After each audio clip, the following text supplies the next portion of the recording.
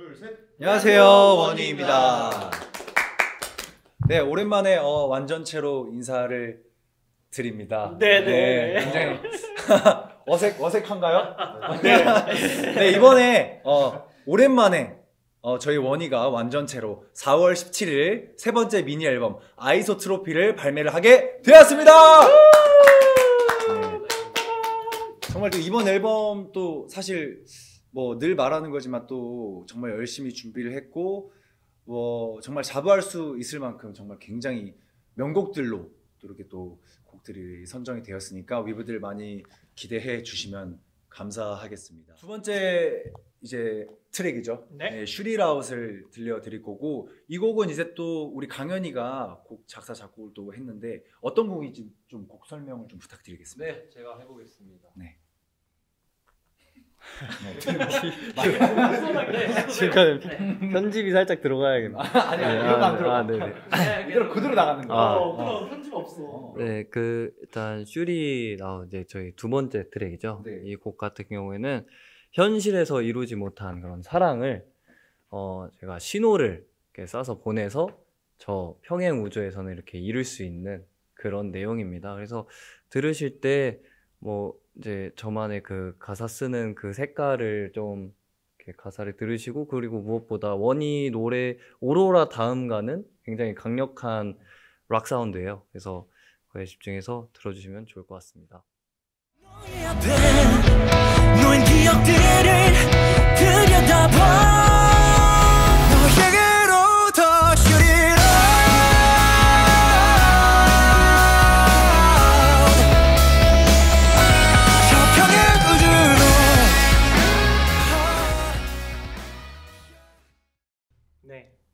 그럼 이제 세 번째 트랙 어떤 곡이죠?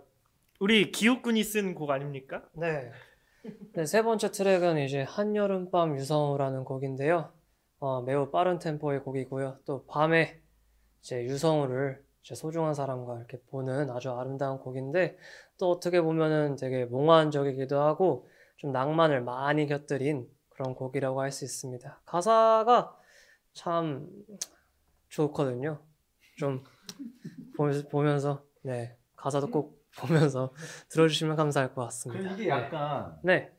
그 좀 약간 반 버전의 베로니카의 섬이라고 생각을 합니다. 어, 네, 약간 몽환, 몽환적인 베로니카를 생각하시면은 약간 쉬울 것 같습니다.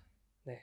밤 누구보다 뜨거웠던 여름밤 유성우처럼 빛나고 있던 당신은 내게 쏟아졌어 yeah. 사랑한다고 너밖에 없다고 사랑한다고 네 번째 어, 트랙은 별 새는 너입니다. 요 곡은 제가 군대에 있을 때 쓴 곡이고요. 군대에 있을 때 곡을 좀 작, 이제 어느 정도는 해놓은 상태고 제대를 하고 이제 좀 가사와 가사를 좀 더 붙이고 멜로디를 만든 곡이고 뭔가 그 여름 밤을 생각을 하면서 썼던 것 같아요. 예, 여름의 밤, 그 가끔 여름 밤에만 나는 그 공기와 그 향이 있거든요. 맞아요, 맞아요. 네, 그거를 좀 그리워하면서 곡을 썼었고 내용은 어 그 정말 밤에 별이 정말 수두룩한 그 어느 날 밤에 어, 사랑을 고백하는 네. 네, 그런 내용이 담긴 곡입니다. 형 어떻게 보면은 약간 이어지는 것도 있어요. 이- 유성우랑 네, 스토리가 약간 맞아요. 이어지는 것도 있어서 이렇게 트랙 리스트도 음, 좀 붙여서 이렇게 넣어. 맞아요. 일부러. 그래서 이제 한여름 밤 유성우 그리고 바로 이어서 별 새는 너로 네. 가게끔 일부러 구성을 좀 해놨고 그때 같이 유성 한여름 밤 유성우 그리고 별 새는 너를 같이 들으면서 이게 뭔가 두 개가 내용이 잘 맞는다 그래가지고 뭔가 이 두 곡을 같이 연달아 또 이어서 들으면 음. 또 뭔가 색다른 느낌이 들지 않을까라는 생각이 듭니다. 언제나 달려와 내 품에 꼭 안겨줘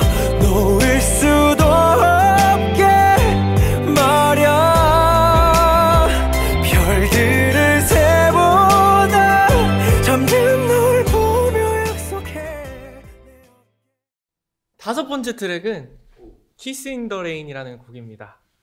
어, 이 곡은 제가 아마 작년 정도 작년에 좀 쓴 곡인데 각자가 생활을 할 때 비가 오는 순간들이 항상 있잖아요. 자기 인생에서 되게 힘든 순간. 네. 그때 뭔가 어, 그 불행한 순간들을 너무 그렇게 불행하게 받아들이지 말고 우리는 그 비 속에서 좀 춤추고 노래하고 사랑하자. 약간 이런 의미의 곡입니다. 그래서 좀 이 곡은 비 오는 날 드라이브 하면서 들어도 너무 좋을 것 같고 또 좀 특별한 점이 있다면 용훈 형이랑 저랑 좀 되게 이렇게 또 잔잔하게 가성만 쓰는 곡이 아예 없죠. 아예 없어요. 그래서 좀 그런 보컬적인 포인트를 좀 어, 유심히 들어주시면 좋겠습니다. 저도 이 곡을 진짜 딱 그 이제 받고 들었을 때 일단 정말 좋았던 거는 진짜 한 번도 접해보지 않은 음. 그 원희만의 어떤 또 새로운 장르 재즈가 처음이죠. 네, 인곡 네. 그래가지고 좀 뭔가 색달랐지 않았나 라는 생각이 듭니다. 대해.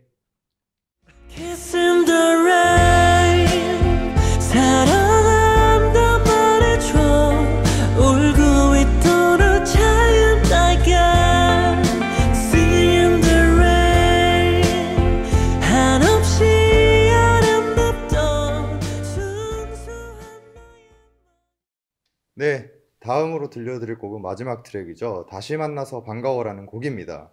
네, 이 곡은 만들게 된 계기가 사실은 좀 뭔가 어, 벅차면서 누군가 보고 싶어 하는 사람이나 또 가족이 될 수도 있고 친구가 될 수도 있고 그런 사람들을 오랜만에 마- 만났을 때 그런 벅참을 좀 가사로 먼저 녹였다가 아 이게 또 너무 몽환적이거나 또 이게 너무 감성만 들어가면은 노래가 음. 아쉬울 것 같아서 음. 벅차면서 신나는 곡으로 음. 다시 만나서 반갑다 음. 너무 기다렸다 약간 이런 느낌으로 곡을 써봤습니다 제가 알기로는 이제 저 친구인 저를 기다리면서 너무 보고 싶어서 썼다는 그 소문이 들었는데 그럼- 맞나요? 그럼요 우리 사실 도모를 생각하며 이렇게 또 했습니다 이제 네. 누가 될 수도 있다. 리브가 네. 될 수도 있고, 그럼요. 원희가 또- 될 수도 있고. 또 그리고 저희가 또 의미가 있는 게 음.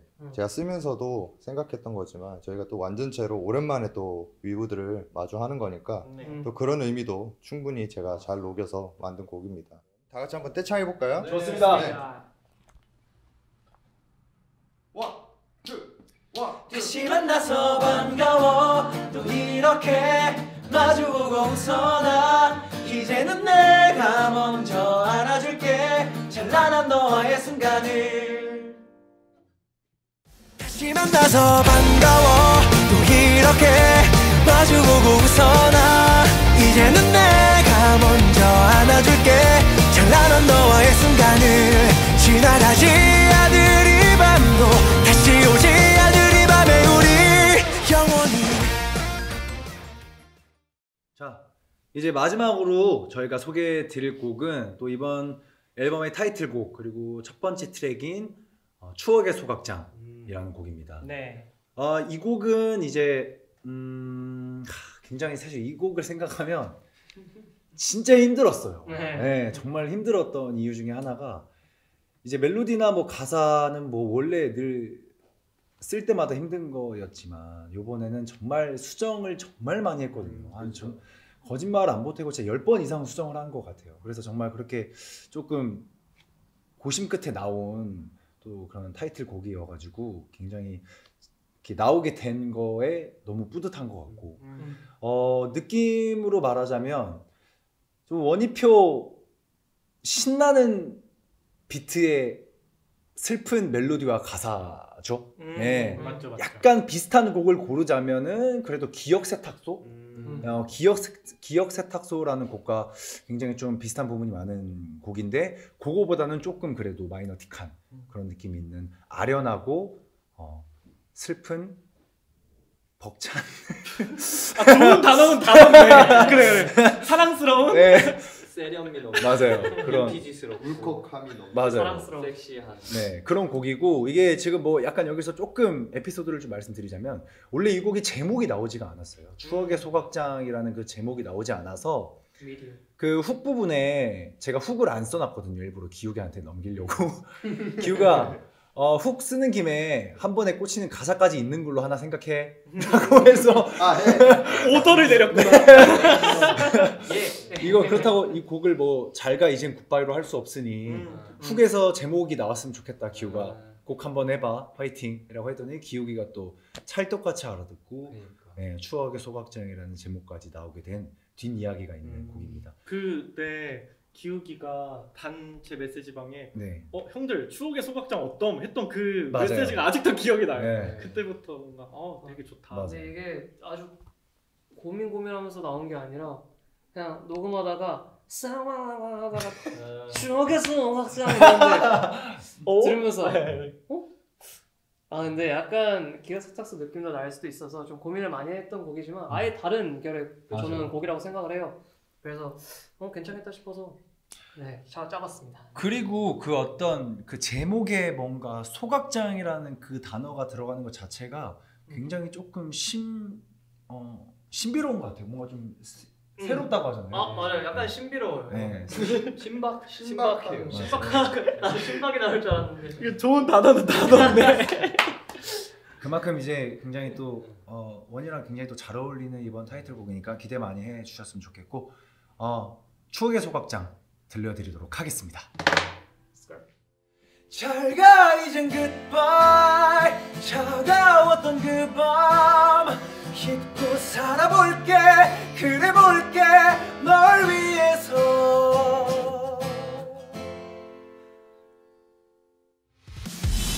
잘가 이젠 good